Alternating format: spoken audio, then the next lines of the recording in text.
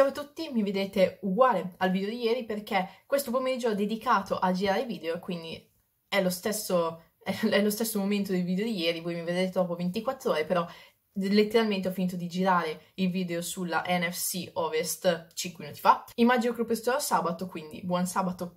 Bene, partiamo a parlare dei Panthers, quindi stiamo parlando della NFC South, in cui ci sono i campioni del mondo, ossia i Tampa Bay Buccaneers, a cui arriveremo dopo. Partiamo dai Panthers. I Panthers avevano una scelta, la scelta numero 8 al primo giro, che era stata molto chiacchierata perché i Panthers avevano un grande bisogno di offensive tackle e sicuramente sarebbe sceso Rashon Slater, un ottimo, ottimo offensive lineman che ok era dopo Penny Sewell, però se non ci fosse stato Sewell sarebbe stato decisamente il primo di questo, uh, di questo draft e molti uh, analisti avevano dato Rashon Slater come anche meglio di Sewell, quindi era un'ottima occasione, però i Panthers hanno deciso che volevano andare in una direzione diversa e hanno deciso di prendere un cornerback. Il cornerback era effettivamente un bisogno, hanno preso il primo cornerback, il primo giocatore difensivo di questo draft e hanno preso J.C. Horn. JC Horn non era stato speculato come il primo cornerback di questo draft perché eh, quasi tutti gli analisti erano d'accordo che il migliore, il migliore era Caleb Farley, questo lo dico io, però che il primo ad andare sarebbe stato Patrick Sorten secondo, invece no, JC Horn è un cornerback dalla South Carolina. Iniziamo subito a dire le cose negative. Il dubbio più grande che ho per JC Horn è il fatto che quando ha dovuto giocare contro squadre forti i wide receiver migliori gli hanno dato problemi quando li doveva coprire a uomo. Però è in generale buono per stare dietro ai wide receiver, è veloce, ha una buona tecnica di placcaggio e la sua capacità di analisi è davvero migliorata, cioè è un giocatore che ci ha messo davvero molto impegno per migliorare, per essere a livello NFL, quindi credo che sia stata una buona scelta da parte dei Panthers. Secondo giro hanno preso Terrace Marshall, Junior, wide receiver dalla LSU, un wide receiver che probabilmente ha più talento di quello che abbiamo visto al college perché è stato schiacciato da Jamar Chase e anche da Justin Jefferson. Però statistica che è davvero impressionante, ha una percentuale di contested catch rate, quindi quando deve prendere la palla con un cornerback che lo copre, lui riesce a prendere la palla nell'82% delle volte, che è una ottima statistica che fa davvero sperare ai fan dei Panthers. Ha giocato sia esterno sia nella slot, ovviamente avendo in, essendo in squadra con Jamar Chase e con Justin Jefferson, i Panthers hanno dovuto lasciare andare Curtis Samuel che è andato a Washington, di conseguenza serviva un wide receiver, secondo me questa è un'ottima scelta, credo che si inserirà molto bene insieme a DJ Moore che è stata la prima scelta del 2018, credo che potrà essere un buon wide receiver 2 o uno slot receiver all'inizio che può diventare un wide receiver 2 col tempo. Terzo giro hanno preso Brady Christensen, offensive tackle dalla BYU. Come ho detto c'era bisogno di un offensive tackle me mi aspettavo che lo prendessero al primo giro, quindi il bisogno era impellente, ma non così impellente perché hanno preso Cal- Cameron Irving in free agency. Brady Christensen ha protetto il quarterback che è andato ai Jets, Zach Wilson, e va detto che quest'anno la BYU aveva un'ottima linea, tutti quelli che potevano essere draftati sono stati draftati, tutti andati anche presto. Brady Christensen ha ottenuto un un voto di 96 da PFF, che è il voto più alto mai dato ha un offensive tackle, quindi c'è tantissimo da amare in Christensen, un giocatore che deve crescere di peso per poter giocare da offensive tackle all'NFL, però una volta che è cresciuto di peso non c'è neanche bisogno di metterlo subito in campo perché hai Irving che hai preso in free agency, però una volta che lo metti in campo è il tipo di giocatore che non togli più, è il tuo titolare per la vita, quindi ottima scelta per Brady Christensen. Se per il terzo round hanno preso Tommy Tremble, tight end dalla Notre Dame, il tight end era un altro loro bisogno, hanno preso un giocatore che non è un buon pass catcher, non è un buon receiver, però è un ottimo blocker, è stato utilizzato poco comunque come ricevitore, è stato utilizzato molto di più per bloccare e aiutare la linea con, per aprire i buchi, per la corsa, quindi hanno, hanno, effettivamente un ottimo gioco di corsa i, pa- i Panthers. Tra l'altro hanno preso Chris Manners che era un ottimo blocker, quindi era, è solo normale che abbiano deciso di prendere Tremble. Quarto giro hanno preso Chuba Howard, running back dalla Oklahoma State. Ovviamente non stiamo parlando di un possibile running back 1, i Panthers hanno il miglior running back della lega e non dico che uno dei migliori, dico il miglior running back della Lega, Christian McCaffrey.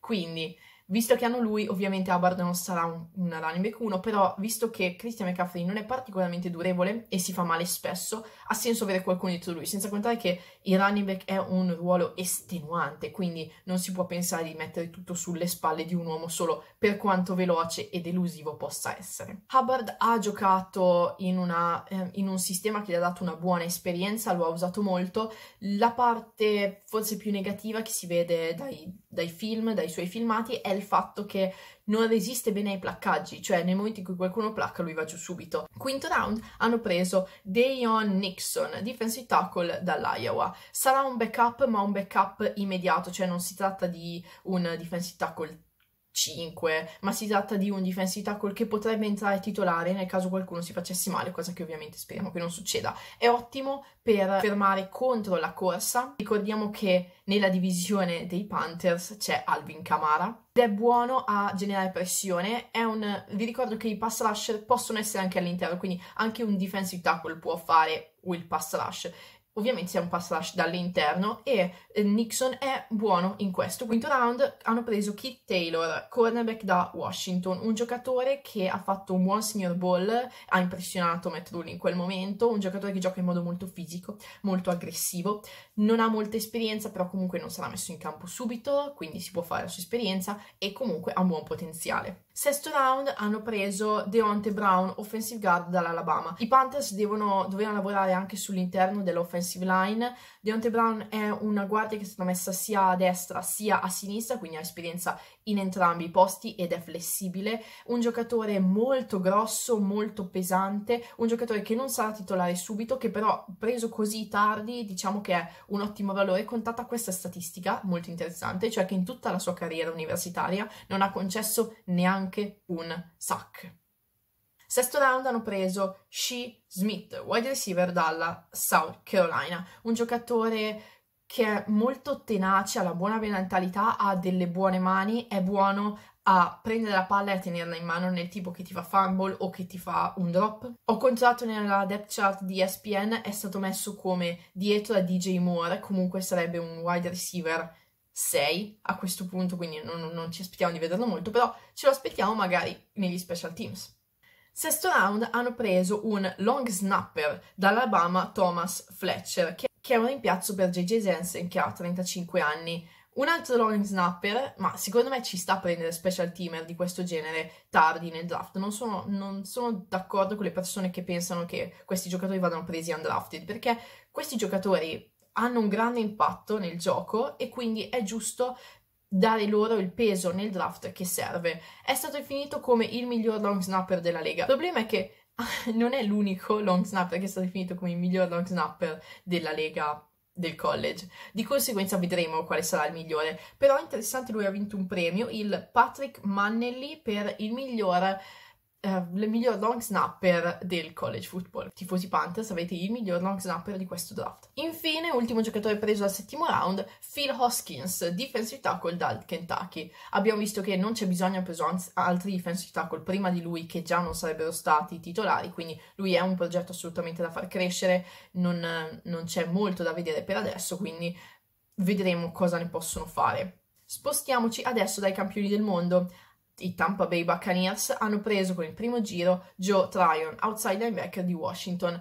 I, I, Buccaneers sono riusciti a portare indietro tutta la loro squadra l'anno scorso, quindi a questo punto sono davvero andati in modalità best player available per il draft. Di conseguenza hanno preso il miglior giocatore disponibile, Joe Tryon. Uh, hanno deciso di lavorare sul loro pass rush che già è molto buono, non andrà ovviamente titolare subito, però si può fare esperienza, imparare da alcuni dei migliori pass rusher della Lega e poi sarà messo con calma, magari l'anno prossimo, nel line-up. Ha fatto solo un anno da titolare perché ha fatto opt-out nel 2020, però quando ha giocato le statistiche erano impressionanti. Inoltre ricordiamo che Jason Pierre-Paul sarà free agent nel 2022, quindi l'anno prossimo. Secondo giro hanno preso Kyle Trask, quarterback dalla Florida. Del talento, del potenziale di Kyle Trask si è parlato molto, però è vero che la Florida aveva un'ottima squadra quest'anno, molti giocatori sono stati draftati e quindi questo ha influenzato il fatto che Kyle Trask abbia avuto una stagione così positiva. Comunque si tratta ovviamente non di un titolare, ok, anche è stato preso al secondo round, ma hai Tom Brady, quindi Kyle Trask può imparare da Tom Brady fantastico, quindi per il prossimo uno o due anni Kyle Trask sarà in panchina, migliorerà la sua tecnica. È un giocatore non particolarmente atletico, ma per questo non è che Tom Brady gli possa insegnare a essere particolarmente atletico, quindi non è lì, però gli può insegnare a migliorare il suo braccio, cosa che Tom Brady ha fatto mentre era nella lega professionistica. Anche lui ovviamente non è entrato nell'NFL come il grande fenomeno. Ci sono stati dubbi sulla forza del braccio di Trask, però Arians ha detto che non ha dubbi su quello, ha detto che basta vederlo in partita per capire che il braccio di Kyle Trask è più che adeguato e Arians adora mettere la palla in fondo al campo. Terzo giro hanno preso Robert Hainsey, offensive tackle dalla Notre Dame. È un giocatore che ha fatto ha giocato come offensive tackle a Notre Dame, ma che al Signor Bowl è stato spostato all'interno, quindi come guard, come guardia, come centro. Credo che lo terranno all'interno, eh, magari non serve immediatamente perché hanno una buona, una buona offensive line, ha un buon istinto e ha un gioco pulitissimo. Credo che non abbia mai fatto penalità in tutta la sua carriera. Quarto giro hanno preso Jaron Darden, wide receiver dal uh, North Texas. Hanno fatto trade up per prenderlo non perché ci sia bisogno immediato, perché ricordiamolo hanno Chris Evans, hanno Godwin che è il mio preferito wide receiver all'interno dei Buccaneers. Inoltre hanno riportato anche Antonio Brown, quindi Darden sarà un pochino più avanti nelle file dei wide receiver. Subisce molti placcaggi dovuto alla taglia ridotta, però è abbastanza veloce, ha fatto 4,46 secondi nella 40 yard dash è elusivo, quindi immagino che lo metteranno negli special teams, vedremo lì cosa può fare e se nel futuro può arrivare a fare wide receiver 3 magari nella slot. Comunque ha fatto molta è stato molto usato al North Texas, fatto, è stato molto produttivo, quindi i Buccaneers hanno avuto una buona possibilità di studiarsi la sua tecnica. Quinto round hanno preso KJ Britt, inside linebacker della Auburn è stato un capitano Auburn, è stato un middle linebacker. Al momento non hanno bisogno ovviamente di un linebacker, però è stato molto buono al Senior Bowl, quindi immagino che abbia un buon potenziale. Sarà messo per adesso in special teams perché è davvero un buon placcatore. Immagino però che se riesce a manovrare bene le cose, ovviamente adesso non serve nel fila dei linebacker che sono molto profonde e anche molto talentuose nei Buccaneers, però il talento c'è anche in Brit, vedremo cosa potrà fare. Settimo round hanno preso Chris Wilcox, cornerback della BYU, un giocatore che è decisamente da special teams dovuto alla sua velocità assurda. 4,31 secondi alla 40 yard dash, ragazzi, per un, per un, cornerback, ma anche per un wide receiver è un grandissimo risultato. Deve migliorare la tecnica di placcaggio, però è buono nella copertura a uomo e vale la pena prenderlo anche solo per la velocità. Infine, ultimo giocatore preso, Grant Stewart, linebacker da Houston. Non mi piace la sua tecnica perché non mi piace come placca, non mi piace come copre, però è energico, è veloce, non so esattamente cosa i Buccaneers vorranno fare, però immagino che lo vedremo se mai toccherà il campo. Spostiamoci adesso a Atalanta e parliamo dei Falcons. I Falcons hanno lavorato basandosi sul bisogno, hanno lavorato sulla linea e sul secondario, quindi già questo positivo sono partiti con la quarta scelta assoluta e hanno preso Kyle Pitts. Kyle Pitts, talento generazionale, il tight end draftato più alto di sempre, quindi con la quarta scelta assoluta. Non si parla tanto soltanto di lui come tight end, ma tight end wide receiver, la sua capacità di saltare è qualcosa di disumano e già lui è molto alto, è veloce, esplosivo, fluido, impossibile da coprire.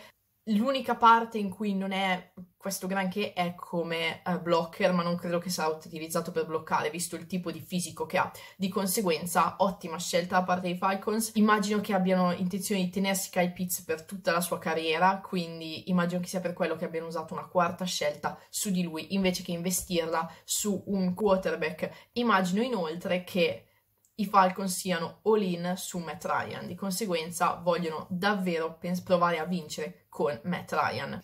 Secondo giro hanno preso Richie Grant, safety dalla UCF, un giocatore che può fare sia da free safety sia da strong safety. È stato il primo safety preso, il che è un pochino Sorprendente visto che c'era Trevor Morig che era decisamente meglio, ancora disponibile. Inoltre Grant era il mio terzo safety nella mia classifica, dopo anche Javon Holland ed era disponibile anche Javon Holland.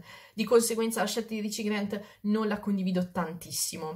È un ottimo safety, siamo chiari, è buono contro la corsa, anzi ha ricevuto un PFF, un voto PFF di 90 contro la corsa, è in grado di leggere difesa, ha fatto un buon senior ball. Infatti nel senior ball è anche migliorato su uno dei suoi problemi maggiori che è la copertura a uomo, quando l'abbiamo visto in partita non è stata gran cosa, però nel Signor Ball è stato decisamente meglio, il che ci fa pensare che può migliorare molto.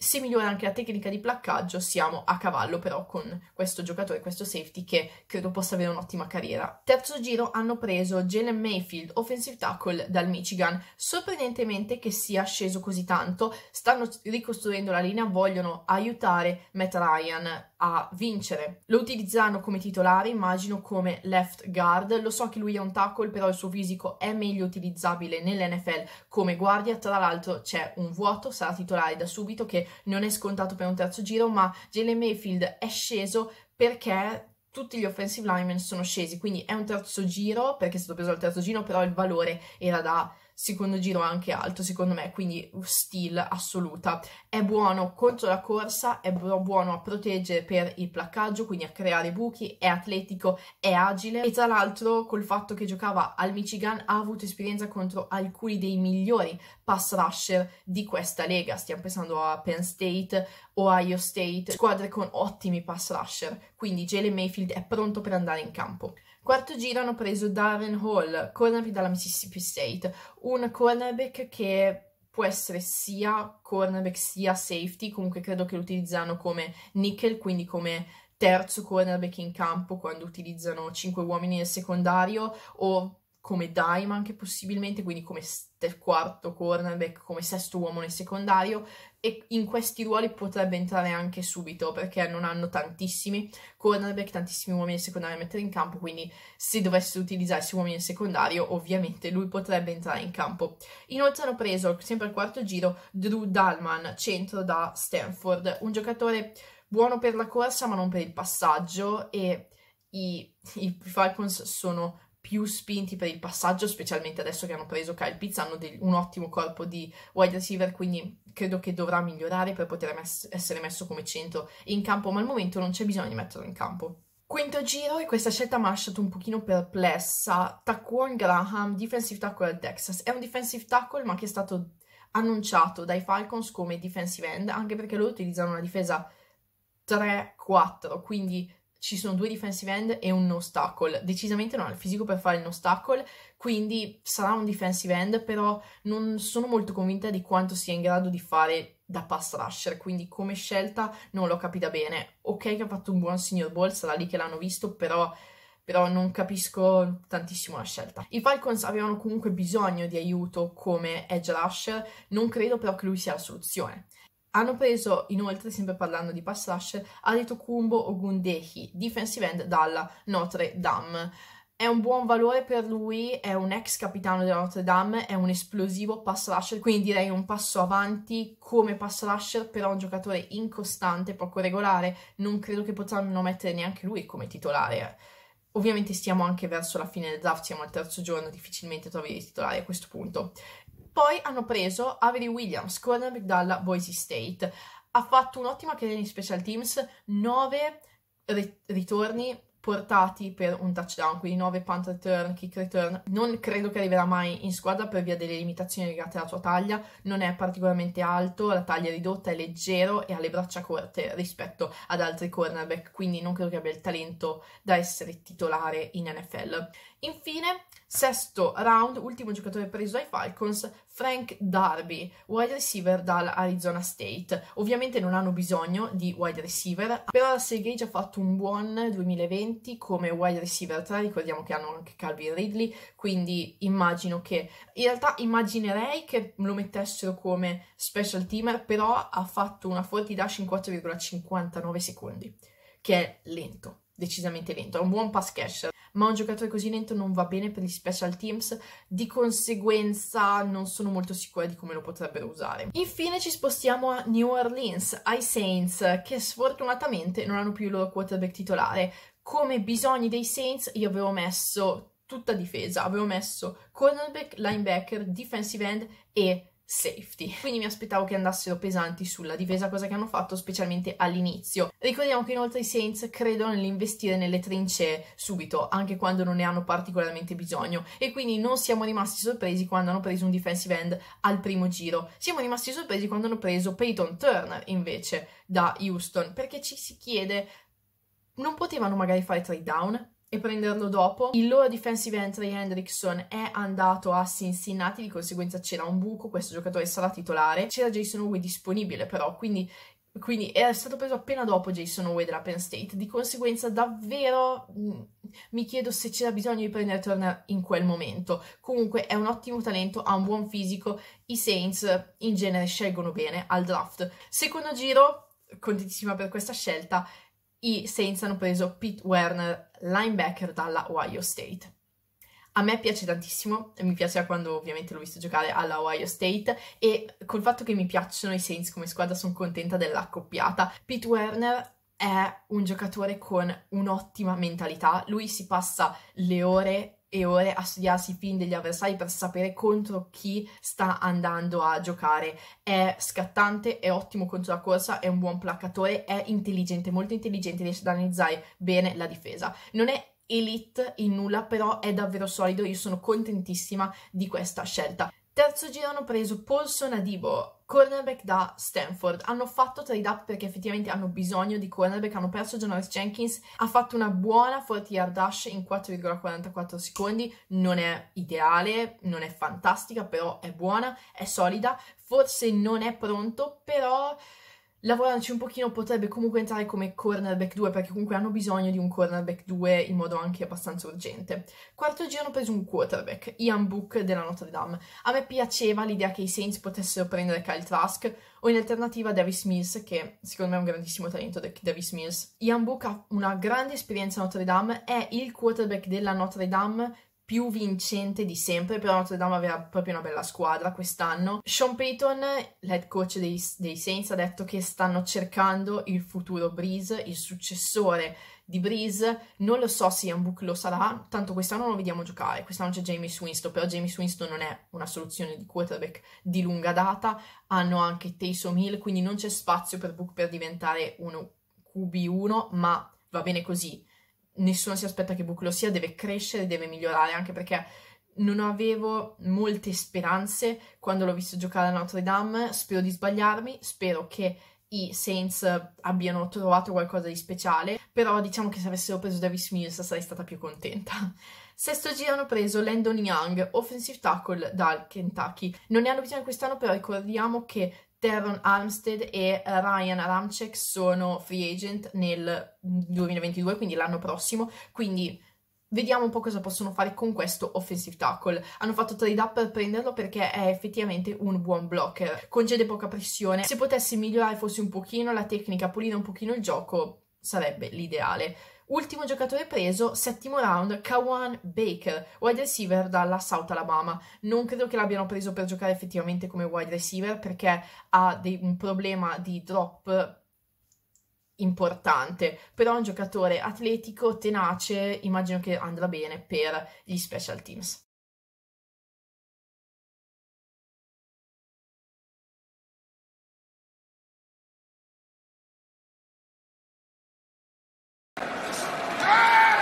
Pressure. Book steps up. End zone shot for Davis. Book's got five in the pattern.